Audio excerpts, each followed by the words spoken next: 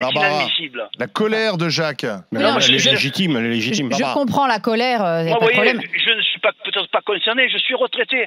Je suis retraité, j'ai 72 ans. Je suis Oui. retraité et en plus ça, je travaille, je suis auto-entrepreneur depuis le début de ma retraite. Oui, je continue à bosser. Hein, je continue à bosser. Oui, Mais vous trouve- justement, vous faites quoi, Jacques? Moi, je fais de, de- de l'assistance informatique à domicile. D'accord, ça vous plaît? Mais bien sûr, Voilà. mais faut, Donc- je continue à travailler. Voilà. Ça ne me dérange Il y a peut-être une, une partie des gens, notamment ceux qui sont effectivement empêchés euh, par la, la SNCF et la RATP d'aller travailler, qui ont qui ont pas qui ont pas forcément eux choisi véritablement un métier dans lequel ils s'épanouissent.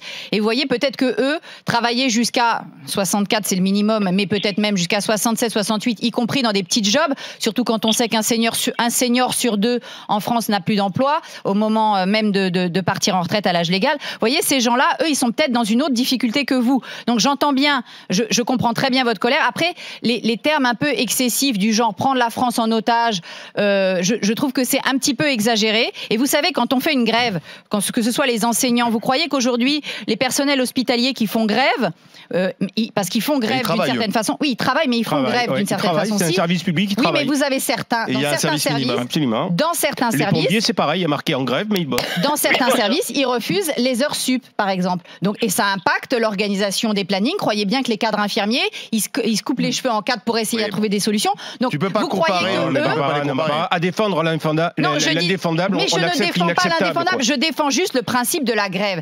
Alors évidemment Ah bah ça, que ça gêne France, la grève des cheminots. mais, Non, mais- on remet pas la Mais la grève en des question. cheminots, Barbara, elle gêne. Mais il y a grève, il y a grève et grève. Et le, et le, et le, commer- et le commerçant, donc il y a le, des co- grèves le qui sont commerçant- interdites. le commerçant qui va perdre 80% de chiffre d'affaires à Noël et qui ne sait pas s'il ouvrira en janvier, il fait quoi? Il fait grève pour, Mais non, lui- mais que pour vous lutter contre disiez- ça? Il fait quoi le Que commerçant? vous Explique-moi. disiez que, vous disiez que la CGT Qu'est-ce qu'il fait le commerçant? Est-ce qu'il est mieux loti Bah, que le si tu cheminot? parles sur moi, je peux pas te répondre. Est-ce que dans ce pays, programme. est-ce que dans ce pays, il n'y a que les cheminots qui ont des problèmes? Mourad.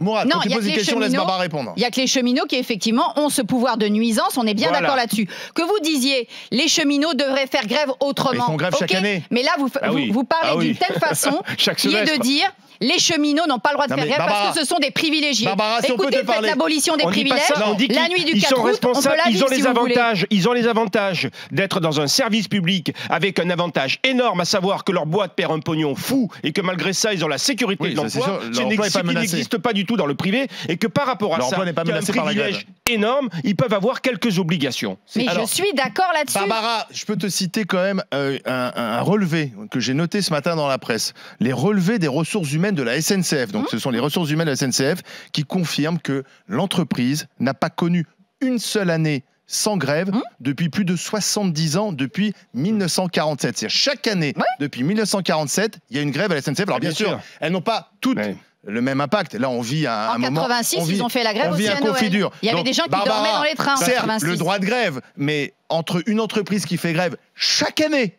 Mais et ceux qui ne font jamais grève, Mais quand bien même, sûr, quoi. mais Pourquoi, parce que qu'est-ce que c'est la culture syndicale Mais des non, cheminots. C'est les marxistes et, que- les, et les staliniens. parce que la CGT, C'est ça quand le elle veut montrer- en même temps. La la SNCF, c'est le bras armé de la CGT qu'elle veut montrer les muscles, qu'elle existe encore dans ce pays, c'est tout.